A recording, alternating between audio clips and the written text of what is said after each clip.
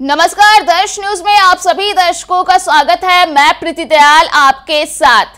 हाजीपुर अपराधियों की फैक्ट्री बन गई है, जिसे स्थानीय प्रशासन का संरक्षण प्राप्त है। बता दें कि ऐसा कहना है पूर्णिया के सांसद पप्पू यादव का। जी, आपको याद दिला दें कि हाजीपुर लोजपा रामविलास के सुप्रीमो व केंद्रीय मंत्री चिराग पासवान का लोकसभा क्षेत्र है। चिराग पासवान हाजीपुर के सांसद हैं और ऐसे में अब पूर्णिया के सांसद पप्पू यादव ने हाजीपुर को लेकर के बड़ी बात कह दी है। साफ़ तौर पर उन्होंने कहा है कि हाजीपुर अपराधियों की फैक्ट्री बन गई है और ऐसा पप्पू यादव ने क्यों और कब कहा, हम आपको विस्तार से बताते हैं। आपको बता दें कि पप्पू यादव ने अपने सोशल मीडिया अकाउंट के ज़रिए एक पोस्ट शेयर किया और इस पोस्ट के ज़रिए ही उन्होंने पूरी घटना को लेकर के जानकारी दी और हाजीपुर को लेकर के ये बड़ी बात कह दी है। तो क्या कुछ पप्पू यादव ने अपने पोस्ट में लिखा है? सबसे पहले हम वो आपको बता देते हैं। तो आप अपने स्क्रीन पर भी देख सकते हैं कि कई सारे फ़ोटोज़ को पप्पू यादव ने शेयर किया है और उन फ़ोटोज़ को शेयर करते हुए पप्पू यादव ने लिखा कि हाजीपुर अपराधियों की फैक्ट्री बन गई है, जिसे स्थानीय प्रशासन का संरक्षण प्राप्त है। तभी हत्या यहाँ सरेआम हो रही है और पुलिस निर्दोष लोगों को झूठे मामले में फंसाकर जेल भेज रही है। यह है बिहार के लॉ एंड ऑर्डर का नया मॉडल। हम जानना चाहते हैं कि हाजीपुर अपराध मुक्त कब होगा। मुझे समझ नहीं आता। लोग राजनीति करने के लिए आते हैं, पुलिस अपराधियों को दामाद की तरह बचाती है और नेता जात की ठेकेदारी करते हैं।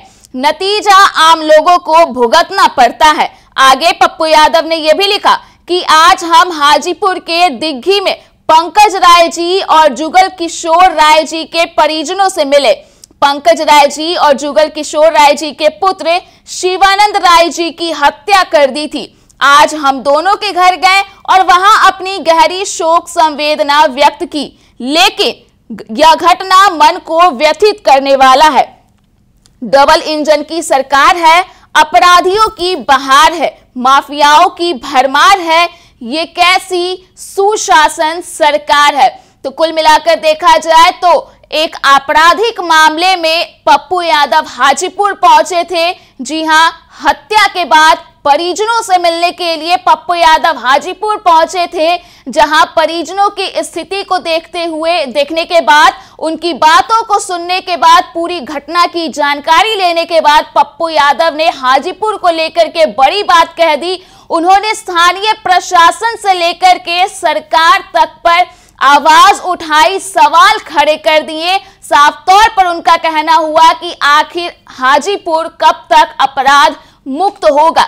बता दें कि पिछले दिनों से लगातार बिहार में जो आपराधिक घटनाएँ हैं, वो तेज हो गई है, बढ़ी हुई है। जो अपराध का ग्राफ है, वो लगातार बढ़ता जा रहा है। ऐसे में आपको बता दें कि जो सवाल है, वो सीधे सीधे सरकार पर उठाए जा रहे हैं। और अगर बात करें हाजीपुर की तो हाजीपुर लोकसभा क्षेत्र चिराग पासवान का है और जिस तरह से ये घटना हुई है उसे लेकर के पप्पू यादव हाजीपुर पहुँचे थे जहाँ परिजनों से मुलाकात के बाद उन्होंने हाजीपुर को अपराधियों की फैक्ट्री बता, बता डाली है। और इतना ही नहीं उन्होंने बड़ी बात कह दी है कि यहाँ के अपराधियों को स्थानीय प्रशासन का संरक्षण प्राप्त है।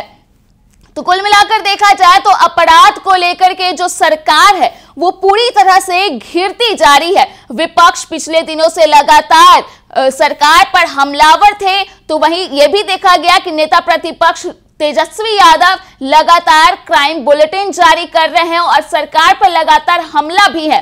तो ऐसे में अब पप्पू यादव भी गुस्से में लाल पीले हो गए हैं आपराधिक घटनाओं को लेकर के और उन्होंने हाजीपुर को लेकर के बड़ी बात कह दी है और इसके साथ ही साथ उन्होंने कई सवाल भी खड़े कर दिए हैं।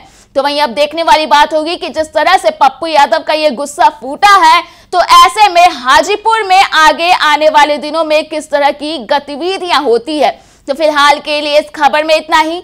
अगर आपने अभी तक हमारे यूट्यूब चैनल को सब्सक्राइब नहीं किया है तो इसे जल्द सब्सक्राइब कर दे।